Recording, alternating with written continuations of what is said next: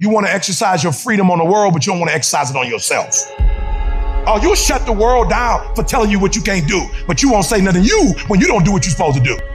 You're not getting up when you're supposed to get up. You procrastinate, but you let you slide. You want to hold them accountable? Hold yourself accountable too.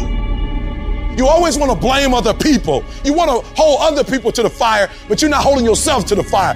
There are things you like, you have absolutely no control. You are like a slave to you. You need to look at yourself in the mirror and say, why are you only giving 50%? What's wrong with you? And you need to get rid of them excuses and you need to stop pointing fingers at people. And you need to start pointing fingers at yourself. What did you not do?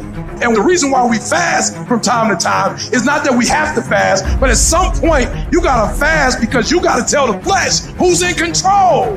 I'm in control. You're not in control. I know you don't want to wake up. You don't have an option. Get up. We trying to eat. There's a certain lifestyle we want. Because I owe it to myself. And can't nobody stop me but me. You are not where you want to be, not because you need any more gifts. You need to discipline yourself. You need to learn to tell you no, tell you stop, tell you quit. You got to get to a point where you're disciplined. It might require you saying no to your friends. It might require you changing your diet. Whatever it takes, you got to be willing to do it. And you keep saying you're not there because of something else because it's easier to blame somebody else. I have to take complete ownership. I had to look at all the things that I didn't have control over and say, I got to take control. Why? When you master yourself, you put yourself in a position that a lot of people can't do what you do, and then you become rare. And diamonds are rare. That's why they cost so much. You have to be willing to grit it out. You have to be willing to push through discomfort. Nothing that you're about to try or do that is worthwhile is going to be comfortable for you during the process of creating it. Stop with this hope, stop with this I wish, and start replacing those terms with I will fucking do, no matter what. It's a commitment, it's not a feeling. Commitments don't have nothing to do with your feelings.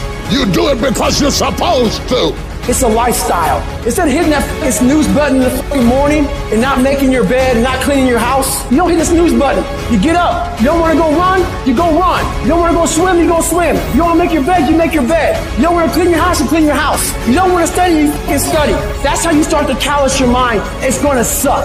It's not going to be fun. Do something that sucks every single day of your life. That's how you grow.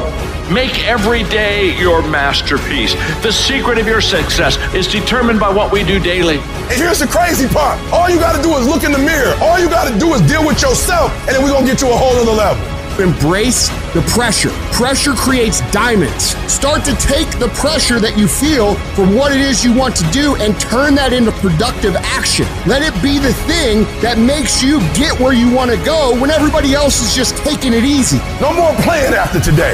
I need you to take control over every single area, and we're going to do it one day at a time. And you're going to get control, and then someday going to be your day.